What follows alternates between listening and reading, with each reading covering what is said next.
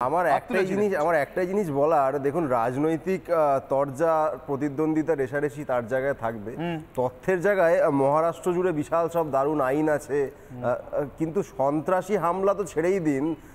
বিশ্ব কুখ্যাত দাউদ ইব্রাহিম থেকে শুরু করে বাকি যত নাম ছোটা রাজান এই বড় সেই মেজ সেই যত রকম নাম যত আছে সব তো ওই মুম্বাই মহারাষ্ট্র থেকে বেরিয়েছে। সুতরাং এই বোধহয় সোসাইটির এই নিয়ম বাংলার ক্ষেত্রে আছে না নেই এই যে তুলনা করে বাংলাকে হ্যাটা করা বাংলাটা কত খারাপ জায়গাটা প্রমাণ করার যে মরিয়া চেষ্টা এইটারে আমার আপত্তি আছে এটা দীপাঞ্জন বাবু করলেও আছে আর বিজেপির তো রাজনৈতিক এজেন্ডা সেই লড়াই আমি পরে আসছি। কিন্তু মহারাষ্ট্রে যা যা আছে সব খুব ভালো বাংলায় কিছুই নেই বাংলা খুব খারাপ এই ন্যারেটিভ নিয়ে আমার আপত্তি আছে তার কারণ হচ্ছে আচ্ছা তাহলে আপত্তি আমি আপত্তি আপত্তিটা শুনে রাখলাম। তার কারণটাও বললাম যে কন্টিনিউ করবেন কন্টিনিউ করবেন। আমি শুধু দীপাঞ্জন বাবু যে বললেন তার পাল্টা একটা ছবি। এই বাংলার একজন প্রপার্টি ডিলার বা ব্রোকার যাই বলুন না কেন সাদা বাংলায় আমরা যাদেরকে দালাল বলে জানি তার সঙ্গে আমাদের প্রতিনিধির কথা আজকে। কীভাবে বাড়ি ভাড়া দেওয়া হয় পাওয়া হয় একবার একটু শুনে নিন নিজের চক্ষু কর্ণের বিবাদ ভঞ্জন করবার জন্য।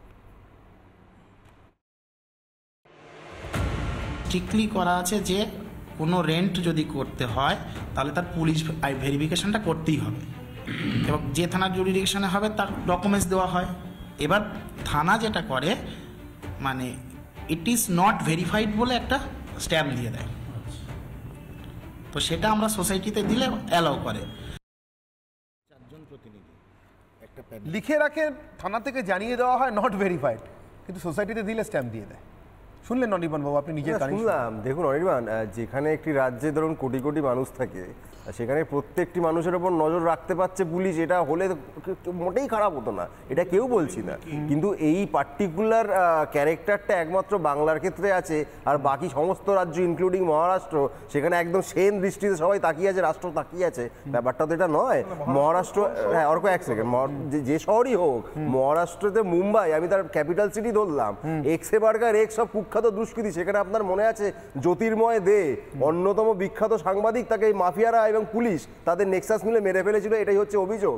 এরকম একটি শহরে অসাধারণ সুরক্ষা আচ্ছাদন আর কলকাতা এই ধরনের ঘটনা কোনোদিন যেন না ঘটে এখন আমরা দেখিনি কোনোদিন ঘটতে এবং কোনোদিন যেন নাও ঘটে সেখানে কিছুই নেই।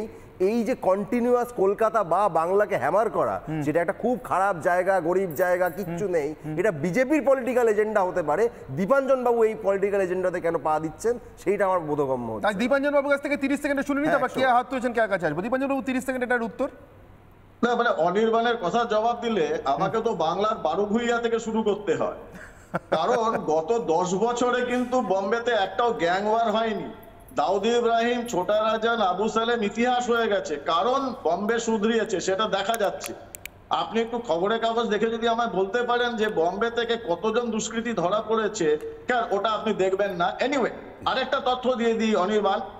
দুই অনির্বাণ তো মানে আমি জানি না মানে রিপাবলিকের অনির্বাণ।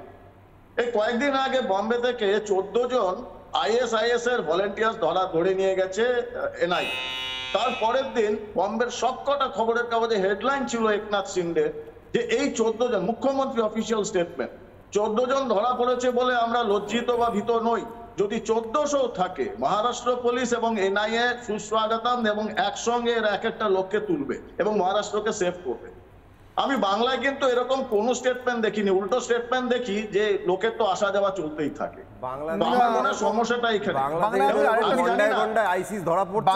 বাংলা আরেকটা স্টেটমেন্টও পাওয়া যায়। বিএসএফ এখানে গরু পাচারকারীদের গুলি করলে গরু পাচারকারীদের গুলি করলে শোনা হয় যে শোনা যায় যে বিএসএফ নাকি গ্রামে ঢুকে নিরীহ মানুষকে মারছে। কে হাত তুলেছিলেন কোথায়? এনআইএ কে খবর এনআইএ কে বাংলার পুলিশকে খবর না দিয়ে সে মালদা থেকে ধরে নিয়ে যেতে হয় ডিফারেন্সটা এই জায়গাতে